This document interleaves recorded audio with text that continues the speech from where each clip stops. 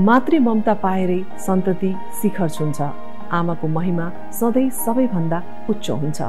नमस्कार। सम्पूर्ण आमाहरूमा समर्पित न्युज ट्वेन्टी फोर टेलिभिजनको साप्ताहिक कार्यक्रम आमामा यहाँहरूलाई स्वागत छ। म उषा खड्गी। यस कार्यक्रमको स्पोन्सर रहेको छ वात्सल्य। कार्यक्रम आमाको आजको भागमा लोकप्रिय e commerce platform Sasto deal dot कमका संस्थापक तथा सिइओ अमुन थापाकी ममतामै आमा। लिली थापालाई प्रस्तुत गर्दैछौँ। लिलीको मातृत्वले हजारौँलाई प्रेरणा मिलेको छ। लिलीको ममता लाखौँमा पुगेको छ।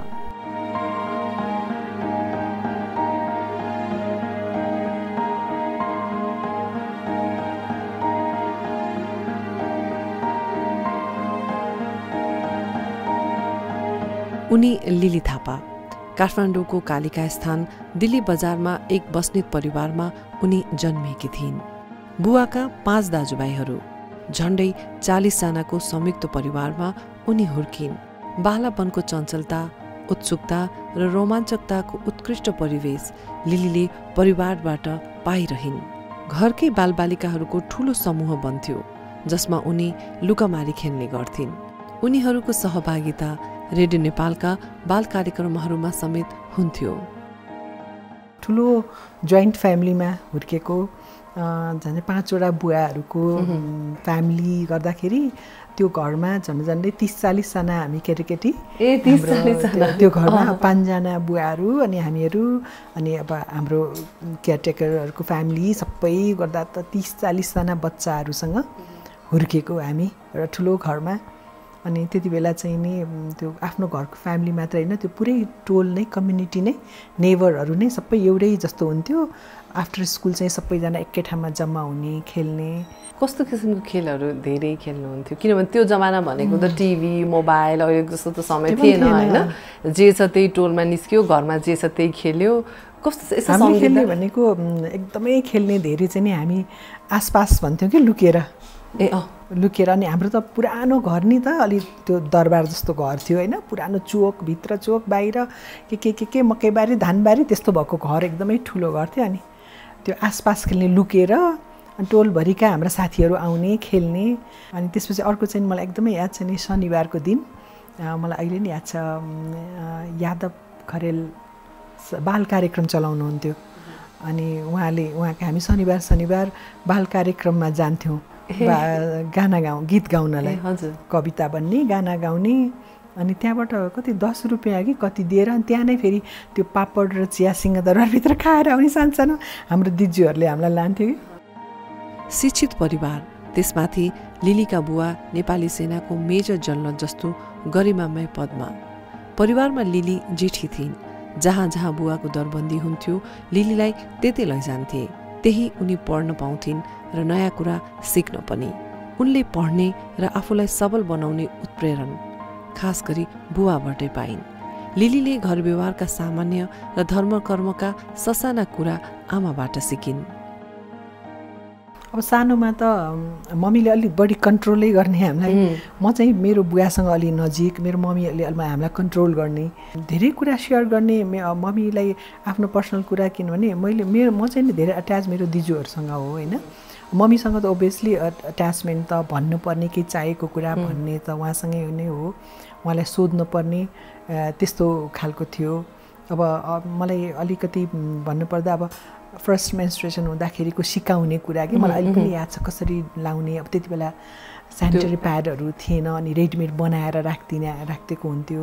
हामीलाई सिकाउने। अब त्यो सानो सानो कुरा चाहिँ अहिले पनि हो आमाले सिकाउने रहेछ भन्ने खालको फिलिङ चाहिँ हुन्छ होइन? मम्मीको अब साँच्चै भनौँ भने मम्मीको एकदमै सोच भनेको बिहा पढेर अनि ठुलो घरमा बिहा गरिदिने कि? साँच्चै भने तर मेरो बुवाले चाहिँ बिए पास नगरिकन बिहा गर्नुहुन्न भन्ने।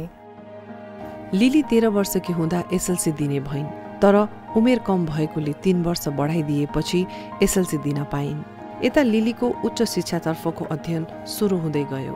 उता बुवा बिरामी पर्नुभयो। बुवाको स्वास्थ्य अवस्था जटिल बन्दै गएपछि सत्र वर्षको उमेरमै लिलीको विवाह गरिदिए। लिली सुनाउँछिन् मास्टर पढ्छु डाक्टर बढ्छु भन्ने सोचेकी थिए। एकपटक पनि नसोधी घरकाले बिहे गरिदिए। आर्मी संस्कारमा हुर्किएकी एक सत्र वर्षीय किशोरी एकाएक बुहारी बन्न पुगिन्। लसुन मेथी धनियाँसम्म चिन्न नसकेकी लिलीलाई भान्सा सम्हाल्नु सहज थिएन।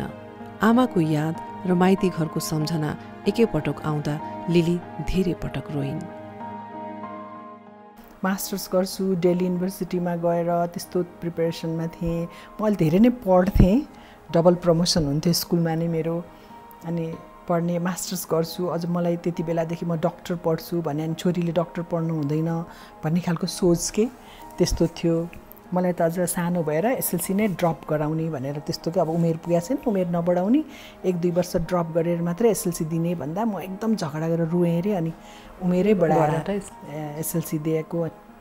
अनि अब चार वर्ष कलेज लाइफ चाहिँ नि अलि राम्रो भयो होइन। अब सत्र पुरा भएको थिएँ के अरे अब बिहा भएको कति दिनपछि त्यो कालिका थानबाट मेरो घर नक्साल होइन? कालिका थानबाट नक्साल त्यो नक्साल भगवती थान आएदेखिको रुनु रुनु मन लाग्ने। अब यता यस्तो रमाइलो गर्नु त्यत्रो ठुलो घरमा सबैजना धेरैजनासँग बस्यो नि होइन? अब मलाई त भगवती थाना आयो कि नरमाइलो लागिहाल्ने कि? त्यस्तो भएको थियो कतिसम्म त। अब फेरि यता बिहा गरेर आएपछि पनि फेरि त्यस्तै फ्यामिली अब थापा फ्यामिलीमा परियो होइन नक्सालको। अनि अब अलि धेरै नै बुहारी भएर बस्नु यता छोरी भएर बसेको अनि जे पनि फ्री मैले बिहा गरेर जानु अगाडिसम्म मलाई त्यो हरियो लसुन हरियो प्याज भने के मेथी ज्वानो भने के के पनि थाहा थिएन नि त। होइन कहिले काम पनि गरेको थिएन खालि पढ्ने पढ्ने डुल्ने घुम्ने पढ्ने खेल्ने गरेर। अनि यता बुहारी भएर गएपछि चाहिँ अब त्यति बेला बुहारी कोही मान्छे आयो भने घुम्टी लाउनु पर्ने अनि बिहानै उठेर त्यो रातो टिका लाएर आउँ सासु होइसिन्थ्यो होइन। टिका लाउनु पर्ने बिहानै त्यो टिका नलाएदेखि भने अब टिका खै भने अनि हतार पत्ता टिका नलाइकन बिर्सेर मुहाँ कहाँ गयो भने अब फेरि दौडेर झट हतपत टिका लाएर जानुपर्ने। त्यो अब अर्कै भयो नि त। मलाई पकाउन पनि आउँदैन थियो होइन। घरमा कति काम गर्ने मान्छे थुप्रै थियो। तैपनि बुहारीले एक थोक तरकारी पकाउनु पर्छ भन्ने मान्यता उनीहरूले सबै ठिक्क पारिदिनु पकाउनु पर्ने अनि मलाई पकाउनु नआउने कि अनि मेरो नन्दले लुकेर आएर माथि भान्सा हुन्थ्यो नि बुइगल ठुलो। अनि त्यहाँ आएर पकाएर राखेर नि आज भाउजूले पकाएको भन्ने मलाई अहिलेसम्म नि याद छ त्यस्तो त्यस्तो गर्थ्यो नन्दले। घरमा पनि माइतमा पनि सबैले बच्चा चाहियो भनेर लिलीलाई सुनाउन थाले। तर बिस वर्षकी हुँदासम्म लिलीका बालबच्चा जन्मिएनन्। त्यहाँ पनि अब जेठो छोरा होइन मेरो हस्बेन्ड चाहिँ जेठो अनि अब मेरो सासु पनि ससुरा भइबक्सिनुहुन्थ्यो अनि अनि अब बच्चा हुनुपर्छ भन्ने त्यहाँ पनि सबै कि अब छिटो बच्चा हुनुपर्छ भन्ने किसिमको डिमान्ड जस्तो। अनि मेरो चाहिँ दुईचोटि मिसक्यारेज भयो होइन किनभने म अठार वर्षमा कन्सिभ गरेँ उन्नाइस वर्षमा गएँ। दुईचोटि अब त्यो मेरो हुन्छ नि अब त्यति म्याच्योर नभइसकेको भएन। अनि त्यसपछि चाहिँ अब अब घरमा कुरा हुन थाल्छ नि। अब बच्चै भएन बच्चै भएन बिहा गरेको तिन वर्षमा सत्र वर्षमा बिहा अरे बिस वर्षसम्म बच्चा नहुँदा त बच्चै भएन भन्ने खालको त्यो खालको कुराहरू पनि भएको थियो होइन। अनि मेरो मम्मीलाई असाध्यै चिन्ता अनि थर्ड बेलामा चाहिँ नि अनि डक्टरले अनि त्यो दिव्येश्वरी राणा डक्टर साहब म अहिले पनि सम्झिन्छु उहाँले चाहिँ अनि कम्प्लिटली रेस्टमा बस्नुपर्छ भने चाहिँ मैले म वीर हस्पिटलमा थ्री मन्थसम्म कम्प्लिटली सुतेर बेडमा तकिया पनि नहालेर दिनमा एउटा यस्तो दुख्ने इन्जेक्सन दिन दिन्थ्यो त्यहाँ डक्टर। दिएर अनि तिन महिनापछि अनि मेरो फेरि यता आएर घरमा कम्प्लिट रेस्ट गरेर अनि त्यो जेठो छोरा पाएको मैले एकदम गाह्रो गरेर। दोस्रो चाहिँ ठ्याक्कै अच अचम्म छ अनि ठ्याक्कै बाह्र महिनामा होइन जेठो छोरा पाएको सेम ठ्याक्कै बाह्र महिनामा same time same date same month अनि अहिले सेम राशि के दुवैजनाको? अनि ठ्याक्कै बाह्र महिनाको फरक के? अनि दुइटाको बर्थडे पनि एकै दिन पर्छ एउटै राशि एउटै हुन्छ कि जेठो र माइलोको। अनि अचम्म त्यो त्यो दुईजनाको अनि त्यसपछि थर्ड चाहिँ अनि मलाई एकदम छोरीको र मेरो हस्बेन्डलाई छोरीको असाध्यै रहर कि? अनि छोरी पाउनुपर्छ छोरी पाउनुपर्छ भन्ने अनि छोरीको दुइटा छोरा भएन। थर्ड अमुन पाउने बेला चाहिँ छोरीको रहर गरेर पाएको होइन।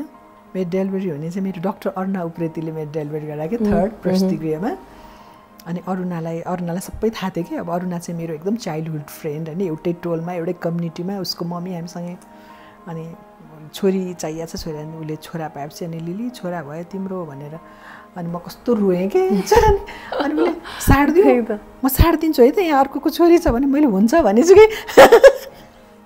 अरुणाले अहिले पनि भन्छ कि मलाई?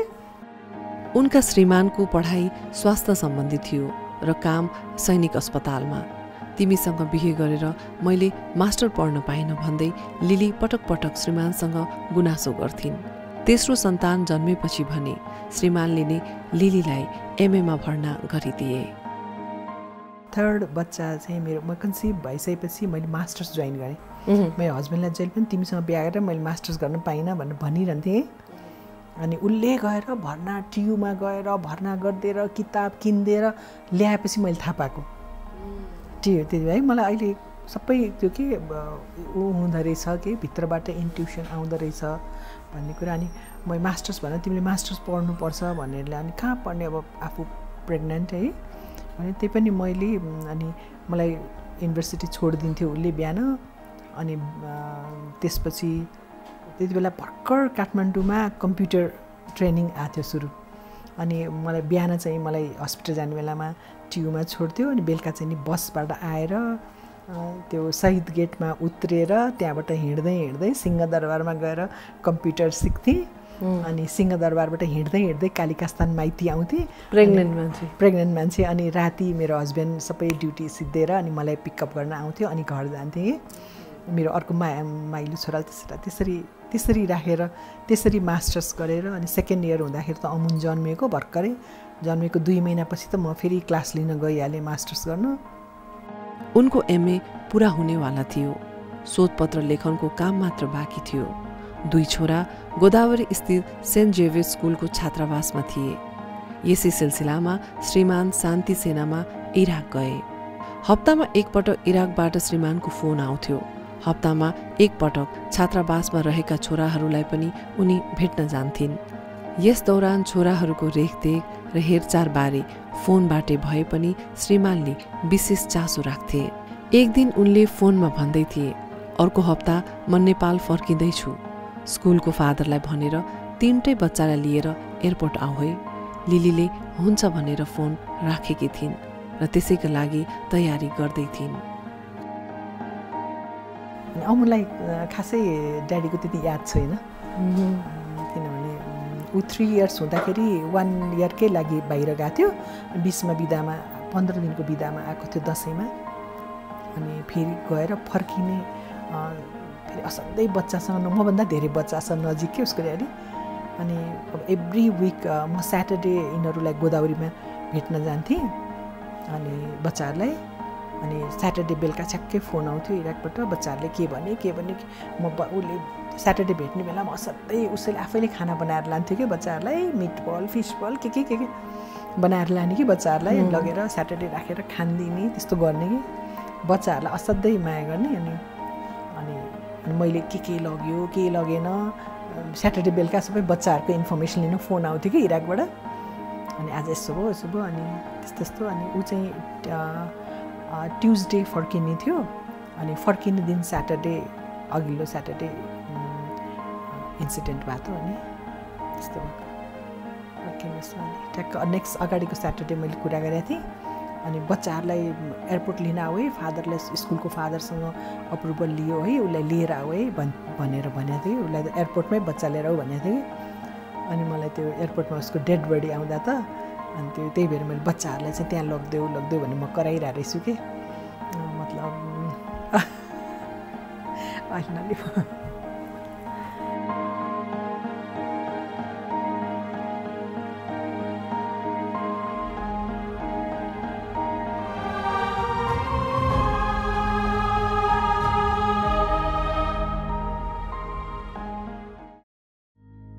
विश्रामपछि स्वागत छ। तपाईँ न्युज ट्वेन्टी फोर टेलिभिजनमा आमा कार्यक्रम हेर्दै हुनुहुन्छ। यस कार्यक्रमको स्पोन्सर रहेको छ वात्सल्य आजको कार्यक्रममा हामी अमुन थापा र उनको मातृ स्नेहको कथा प्रस्तुत गरिरहेका छौँ।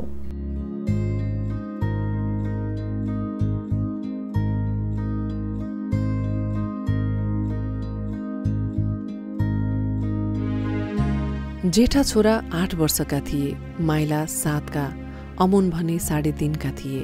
उनातिस वर्षको त्यति कलिलो उमेरमै लिलीले श्रीमान गुमाइन्। उनकी आमाले माइतीमै घर दिएर आफ्नै समीपमा राख्न खोजेकी थिइन्। नातिहरूप्रति पनि राम्रो हेरचाह र माया थियो तर लिलीलाई भने माइतीमा बस्न पटक्कै मन भएन।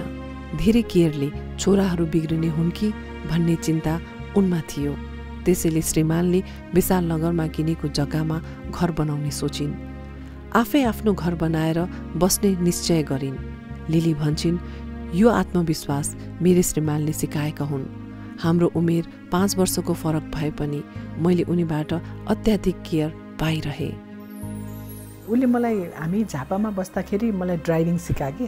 मलाई प्रिपेयर अहिले मैले सबै सोच्दाखेरि मलाई सबै कुराबाट प्रिपेयर पारिरहेको रहेछ झापामा बस्दाखेरि अनि मलाई झापाबाट विराटनगर लिएर आएर ड्राइभिङ गराउँ सिकाउँ। कि मलाई त्यति बेलै उसले प्रिपेयर पारेको अनि म स्कुल चलाउँथेँ। अनि पन्ध्र दिनको बिदामा ऊ त्यो शान्ति सेनाबाट आउँदाखेरि मेरो घरको अगाडि त उसले के भन्छ त्यो म मपेड हुन्छ नि मोटरसाइकल स्कुटर स्कुटर किनेर ल्याएर राख्थ्यो क्या। म मलाई स्कुटर चलाउन आउँदैन थियो अनि मतलब सबै कुरो यो चलाऊ सिक भनेर उसले पहिला प्रिपेयर पारेर मास्टर्स गर मोटर चलाउन सिकाउने स्कुटर चलाउन सिकाउने अनि अब स्कुल खोलिदिएको उसैले रोजबर्ड स्कुल। अब एक्लै सबै अनि तिनवटा बच्चा लिएर होइन अनि अनि राम्रो भन्ने कि के भन्ने अनि मेरो मम्मी मेरो भाइहरूले छोराले त तेह्र दिनसम्म हेर्नु हुँदैन भाइहरूले दाजुभाइले भन्थे नि मेरो भाइहरूले चाहिँ रिभोल्ट गर तेह्र दिनभित्रै मलाई भेट्न आएको हेरेको मेरो बहिनीहरू आएपछि अनि चौध पन्ध्र दिनको दिनमा मेरो मम्मीले फेरि ब्याक टु द मलाई घर नपठाएर कालिका स्थानमा एउटा आफ्नो कालिका स्थानमा अब एउटै कम्पाउन्डमा मम्मीहरूको घर चाहिँ खाली नै गराएर त्यो घरमा ल्याएर राख्यो कि मलाई। त्यहाँ ल्याएपछि अब सबै त्यो यस्तो इन्सिडेन्ट हुने त्यो पुरै मेरो माइतीमा नि मै पहिला हो होइन? अनि सबैले केयर गर्ने नि त अनि मेरो बच्चाहरूलाई पनि त्यहाँ अब असाध्यै अब यो भर्खर बाउ त्यस्तो भएको भन्ने पेयर गर्ने उनीहरू त उनीहरू त रमाइलो नि स्कुलबाट आयो नि यता घर उता घर के थाहा कता खाने के गर्ने के पत्तै नहुने कि कहिले कसो घर कहिले घर सबैले ठुलुवाको छोराहरूदेखि अरू मामाहरूले माइजूहरूले सबले केयर गर्ने। अनि पछि मैले कस्तो रियलाइज गरेँ भने हो यहाँ बस्यो भने त मेरो बच्चाहरू त बिग्रिन्छ। अनि यतापट्टि विशालनगरमा घर बनाएँ। अनि एक तला बनाउँदा बनाउँदै अनि मलाई त कहिले जाउँ भएको? अनि त्यहाँ बस्यो भने मेरो बच्चा बिग्रिन्छ भनेर। न त मलाई त आनन्द थियो नि त। सबै सबैले हेरिदिने। भनेर मैले त्यो माथिल्लो तला पनि नबनाउँदै तल तलामा आएर बच्चा तिनटै लिएर आएको म एक्लै। लिलीको करियर अघि बढाउन जसरी उनकी आमाले नातिहरूको हेरचाह गरेकी थिइन् त्यसै गरी लिलीले आफ्ना सन्तानहरूको करियर अघि बढाउन हर समय सङ्घर्ष गरिरहन्। रुन मन लाउँदा नि बाथरुम वा पूजा कोठामा पस्थिन् तर छोराहरू सामु कहिले आँसु झारिनन्। उनी भन्छन् जति दुःख पाए बच्चाहरूकै कारण पाए र मलाई बाँच्न पनि बच्चाहरूले नै सिकाए। जीवन जिउने शक्ति मलाई छोराहरूबाटै मिल्यो। अब जुन चाहिँ जिन्दगीमा जाँदै जाँदा फ्रस्ट्रेसन टाइम टु टाइम कति फेस गर्यो गर्यो। मैले पनि दुईचोटि चाहिँ सुसाइड एटेम्प्ट गरेको होइन? अनि एकचोटि चाहिँ अब दुईवटा बच्चा स्कुलमा थियो। अनि अब मलाई असाध्यै मर्न मन लाग्यो है। अब त्यस्तै त्यस्तै भयो होइन। अनि त्यसो ल यो सानो त्यस्तै छ सात वर्षको थियो के अरे। अनि म सानो गाडी चलाउँथेँ मारुति। अब कसरी मर्ने थाहा छैन। मुसाको बिख खायो भने मर्छ भन्ने थाहा थियो। अनि यसलाई साइडमा राखेर म असनमा मुसाको बिख किन्न हिँडेँ। अनि हिँड्दै अब म मर्ने म चाहिँ दिमागै अब मुसाको बिख किनेर ल्याउने। आज राति उसलाई मार्ने मन मन। दुइटा त उता छ। दुइटालाई त हेरिहाल्छ मामा घरमा। अब उसलाई त छोड्नु भएन बच्चा अनि हामी दुईजना चाहिँ बिक यसलाई नि खानिदिन्छु म यहाँ। म गाडी हाँक्दै हाँक्दै असाध्यै यसले चाहिँ यतापट्टि साइडमा बसेर अलि त्यो हुन्छ नि तोते तोते बोलीमा मम्मी कहाँ जाने के किन्ने मलाई के किन्न लगेको मलाई के कस्तोसँग मिठोसँग उसले कुरा गर्दै गर्दै म उसको आन्सर दिँदै दिँदै म गाडी हाँक्दै हाँक्दै असन जाने मोडमा एउटा गणेशस्थानको मोडमा पुगेपछि त म त एकदम ब्रस्ट पाएँ कि। ओहो यस्तो बच्चालाई कसरी मार्ने कसरी आफू मर्ने भन्ने कुरा भएपछि म त्यहाँबाट फर्केर आएको। मेरो त्यो एउटा इन्सिडेन्ट उसँगको मेरो एकदमै अनि यसले मलाई बचाएको अनि उसको ड्याडीले चाहिँ जहिले पनि मैले तिन तिनवटा छोरा भन्यो नि यो तिम्रो साथी हो कि? भन्थ्यो। चाहिँ मेरो साथी जस्तो छ अहिले। त्यस बेलाको समाज उनी जस्ता एकल महिलाहरूको लागि सहज थिएन।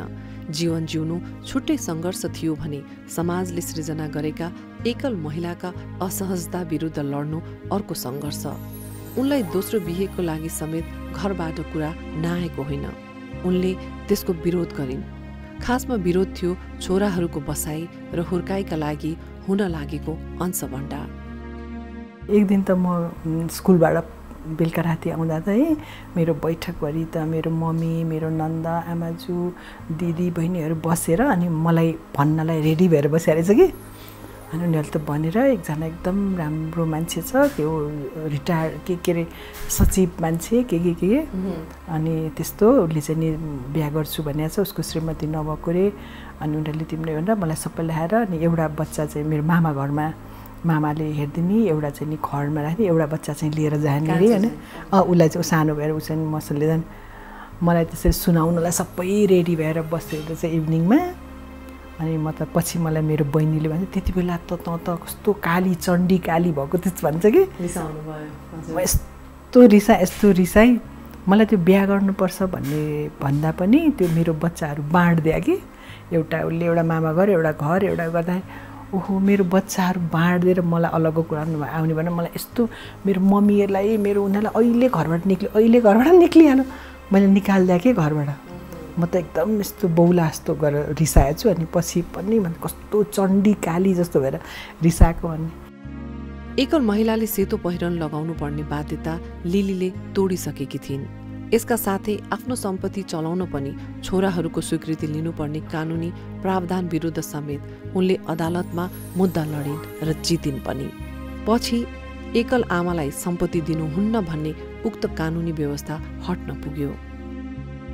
परिवारले पनि हो यो भर्खर किसै सम्पत्ति नाममा दिनु हुँदैन भनेर धेरै अडचन लायो मलाई। त्यसमा पनि फाइट गर्नु पऱ्यो यत्रो सम्पत्ति लिएर जान्छ अब त्यो सम्पत्ति चाहिँ सबै छोराछोरीको नाममा राख्नुपर्छ। आमालाई दिनु हुँदैन किनभने आमा चाहिँ जान्छ। त्यसमा म अहिले पनि सबैलाई भन्छु बिहा गर्नु कसलाई रहर लाग्दैन र? कसलाई साथी चाहिँदैन र? होइन र?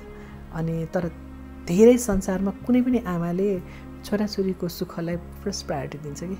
हाम्रो कानुन त्यसरी बनिएको छ नि त। आमालाई विश्व अनि छोराको स्वीकृति बिना अविवाहित छोरीको स्वीकृति बिना सम्पत्ति नै नपाउने कानुन थियो। मैले आफैले अहिले छैन।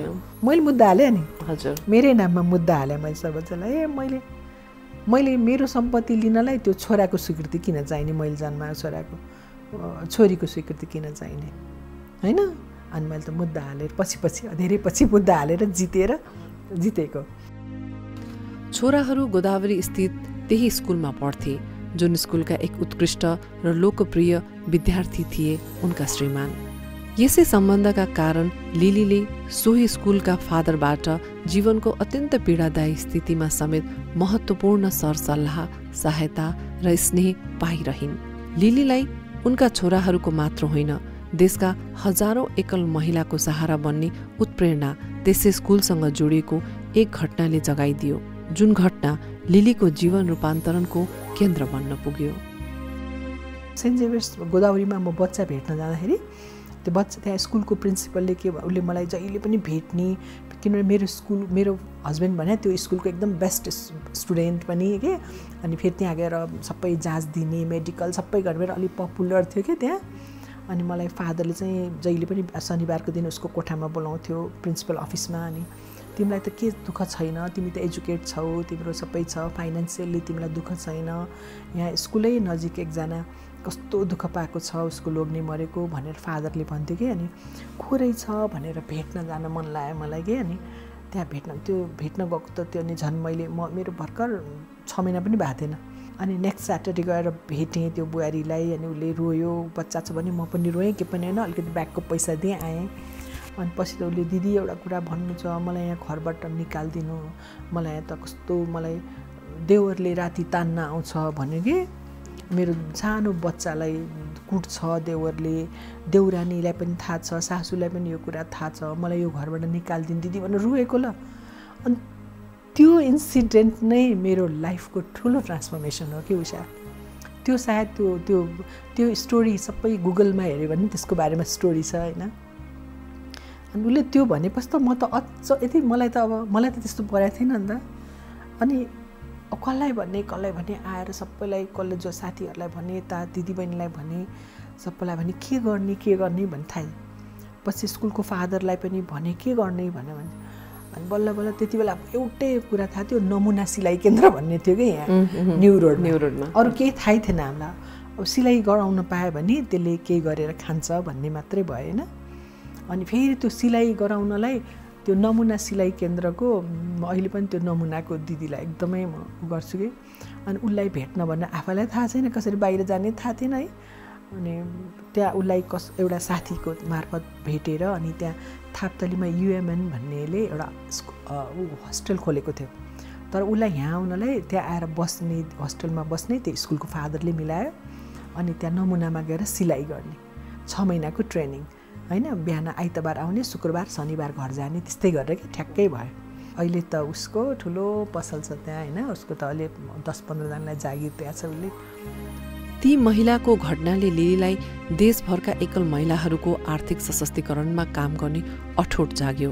फलस्वरूप उनले आफ्नै स्कुलबाट सन्डे प्लेटफर्म अर्थात् वेदना बिसाउने थलोको सुरुवात गरिन् जुन अहिले वुमन फर ह्युमन राइट्सको नामले लाखौँ एकल महिलाहरूको समूह बन्न पुगेको छ।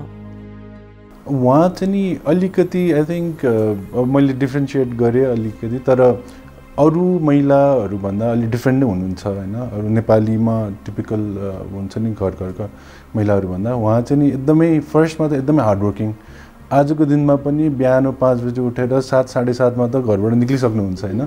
शनिबार कहिले घरमा बस्नुहुन्न होइन? शनिबार घरमा बसेको मैले देखेको छैन।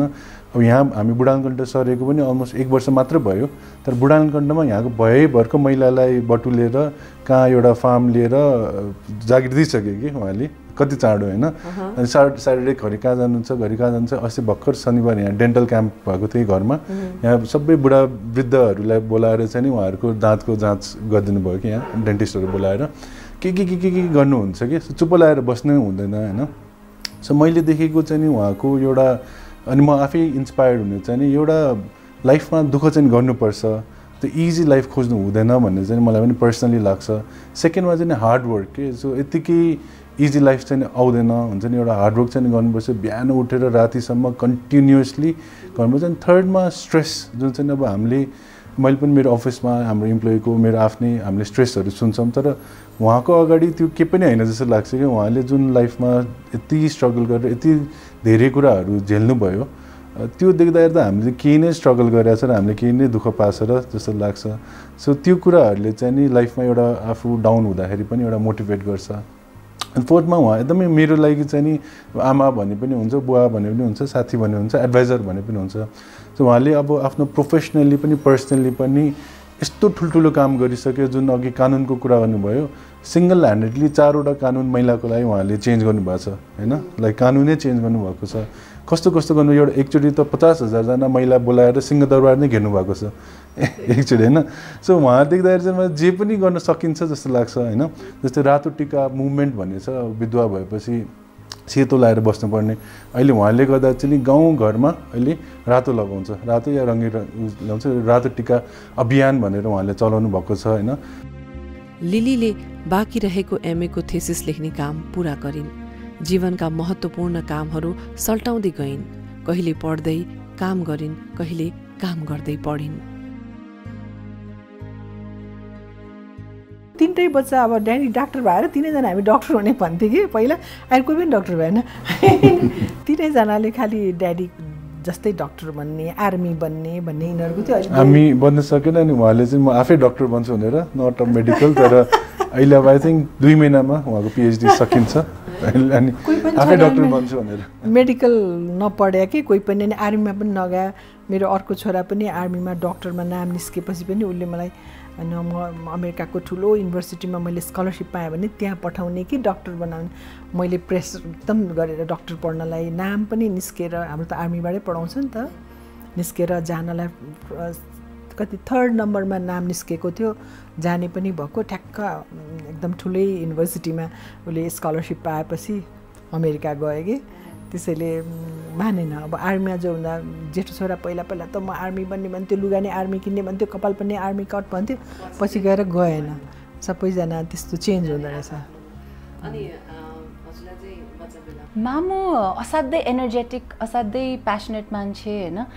जहिले पनि म अब के गर्न सक्छु अब के गरौँ भोलि के गरौँ यो शनिबार के गरौँ दस वर्षपछि के गरौँ पन्ध्र वर्षपछि के गरौँ भन्ने सोचिरहने मान्छे होइन। सो उहाँसँग जति पनि समय बितायो असाध्यै एउटा इन्सपायरिङ हुन्छ कि उहाँले कहिले पनि कुनै व्यक्तिको बारे कहिले कुरा गरे अहिलेसम्म मलाई थाहा छैन फलानुले यस्तो गर्यो यस्तो भयो आज बिहा भोलि वर्तमान कहिले त्यस्तो कुरा गरे मलाई थाहा छैन। सधैँ अब के गर्न सकिन्छ? प्लानहरू के हुन्छ प्रोग्रामहरू के छ उहाँ त्यस्तो मात्रै कुरा गर्नुहुन्छ। सो उहाँसँग जति पनि कुरा गर्यो जति पनि समय बितायो असाध्यै नै इन्सपायरिङ हुन्छ। मैले चाहिँ आई थिङ्क दुईजना दाईहरू भन्दा पनि एकदमै नजिकबाट चाहिँ नि उहाँको स्ट्रगल चाहिँ नि हेर्नु पाएँ होइन। एकदम सानो उहाँले भने फाइभ इयर्स हुँदा म उता गोदावरी होस्टेलमा थिएँ। सो उहाँ जब आउनुहुन्थ्यो हुन्छ नि अलमोस्ट अन विकली बेसिस अनि उहाँले भनेको कुरा एकदम ट्रु अरूहरूको चाहिँ महिनामा एकचोटि प्यारेन्ट्सहरू आउँथ्यो उहाँ चाहिँ विकली नै आउनुहुन्थ्यो कि? त्यतिखेर त मलाई थाहा थिएन किन। अनि त्यो पाँच वर्षदेखि अब अहिलेसम्म पनि अहिले पनि म सँगै छु उहाँसँग होइन? सो अहिलेसम्म पनि उहाँको स्ट्रगल सिद्धेको चाहिँ छैन। खालि त्यो स्ट्रगलको नाम चाहिँ चेन्ज भइरहेछ। सो एउटा ठुलो डिफ्रेन्स मैले चाहिँ के देखेँ भने पहिला मेरो आमा थियो भने अहिले चाहिँ नि दुई लाख एकल महिलाहरूको आमा हुनुहुन्छ होइन? मैले गाउँघरमा मैले आफैले देखेको छु पूजा कोठामा उहाँको फोटो राख्छ कि एकल महिलाहरूले अनि उहाँले स्टोरीहरू सुनाउनुहुन्छ कस्तो कस्तो कस्तो इन्सिडेन्टबाट रेपबाट उसबाट निकालेर आएर कतिजना अहिले मेयर उपमेयर सांसद भइसके होइन? सो उहाँले जुन गरेको स्ट्रगल छ पहिला हाम्रो लागि भनेर एउटा सेल्फिस एउटा आमाको स्ट्रगल थियो भने अहिले चाहिँ नि देशभरिको बालबच्चाहरू वृद्ध महिलाहरूको लागि चाहिँ नि उहाँ आमा बन्नुभएको छ। त्यो ठुलो चेन्ज चाहिँ नि मैले देखेको छु एकदम नजिकबाट। जीवनमा एक्लै जे पनि सामना गर्नुपर्ने स्थिति आउन सक्छ भन्दै उनी अहिले हरेक छोरीहरूलाई आत्मनिर्भर बनाउने यात्रामा सङ्घर्षरत छिन्।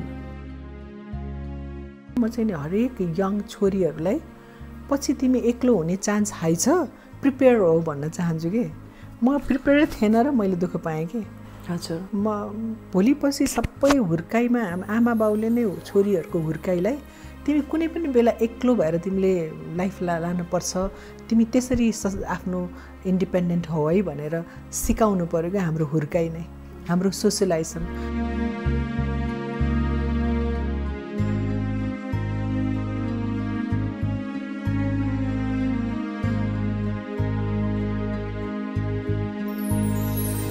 तपाईँ कार्यक्रम आमामा सस्तो डिल डट कमका सिइओ अमुन थापा र उनकी ममतामय आमा लिली थापाको जीवन कथा हेर्दै हुनुहुन्छ अब कार्यक्रममा गेमको पालो हजुरलाई सोध्छ है तपाईँलाई अमुनजीले फर्स्ट कुन सालमा चाहिँ सस्तो डिल सुरु गर्नुभएको इयर याद छ हजुरलाई कति वर्ष अगाडि भन्नुभयो पनि हुन्छ अलमोस्ट सिक्स इयर्स भयो कहाँ six years. Ten ten years two thousand eleven two thousand. इलेभेनमा है अमेरिकाबाट आएकै। वर्ष। मिलेन यसो ओके ल अब हजुरको पालो मम्मीले पढ्नु भएको कलेज नाम? कुन कलेज कुन चाहिँ नि मास्टर्समा होइन जुन याद छ त्यही भन्नुभयो एउटा पद्मकन्या हो। अनि पहिला यो विजय मेमोरियल भन्ने हो। त्यसपछि स्विडनमा पढ्नु भएको थियो मास्टर्स चाहिँ। है मिले अमुनजी कति कुन इयरमा चाहिँ बाहिर जानु भएको टु थाउजन्ड सिक्स होला है। सिक्स मिल्यो? यो त मिल्यो। अहिले त मिल्दैछ हौ कुरा। मम्मीको मिल्ने साथीको नाम? मिल्ने साथीको नाम? ए अरुणा उप्रेती एउटा हो। मम्मी मिल्ने साथी भने प्रोफेसनली घुलमिल गर्ने हो। त्यस्तो त्यस्तो मिल्ने साथी भने एउटा दुइटा छैन थुप्रै छ है थुप्रै हुनुहुन्छ ओके। एसएलसी कुन सालमा दिनुभएको अमुलले? अमुनले टु थाउजन्ड फोर फाइभ कहिले हो? टु थाउजन्ड फोरमा। टु थाउजन्ड फोरमा है? Okay okay. मम्मीले यो सोसियल काम गर्न थाल्नु भएको कति भयो? कुन इयरमा स्टार्ट गर्नुभएको?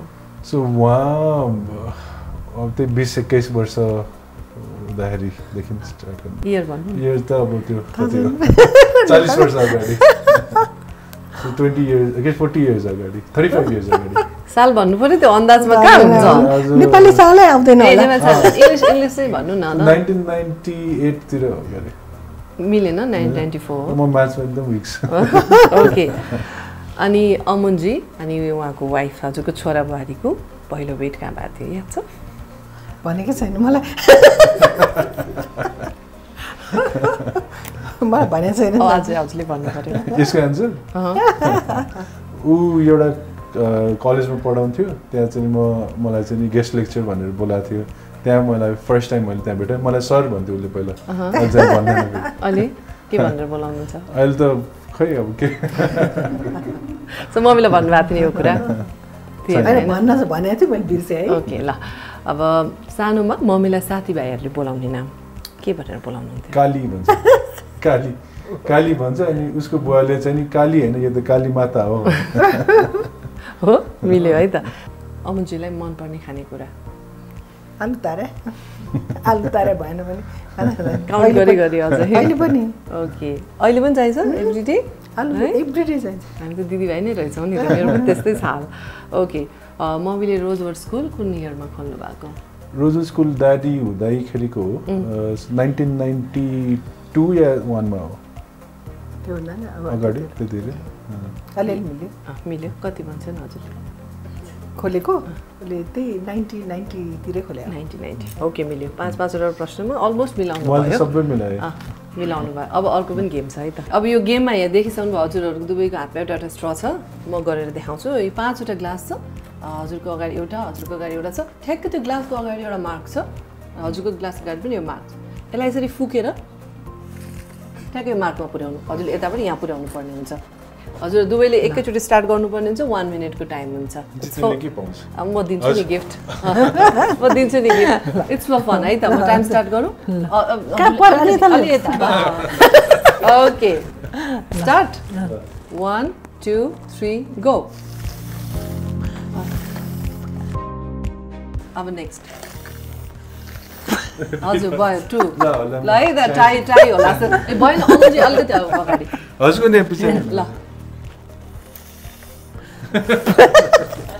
अर्को पनि एकचोटि अझ गर्छु अझ गर्छु अलिकति। ल, ठिक छ यो पनि गर्नु है।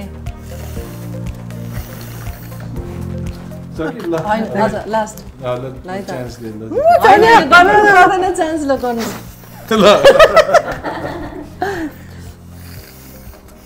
मैले जितिसक्नु भयो जित्यो मैले जितिसक्नु भयो तपाईँ त्यही हुनुहुन्थ्यो उहाँले यहाँ पुऱ्याइसक्नु यसले त कोक खानु मन लाग्यो। ओके कस्तो भयो गेम है त अँ कस्तो रमाइलो लाग्यो एकदम जितिसक्नु भयो मम्मीले यतिले मात्रै जित्नु भयो होइन? र यो त गेम यत्तिकै रमाइलोको लागि डिबेट धेरै मैले जित्छु। जित्दैन ओके रमाइलो भयो गेम होइन? र हाम्रो तर्फबाट र केएल डुगरको तर्फबाट लिली म्याम हजुरलाई यो गिफ्ट अब आमाको गिफ्टमा छोराको अधिकार चाहिँ हुन्छ है। थ्याङ्क यू सो मच लिलीको जीवन सङ्घर्षले देशका सम्पूर्ण एकल आमाहरूलाई उत्कृष्ट जीवन जिउने प्रेरणा मिलोस्।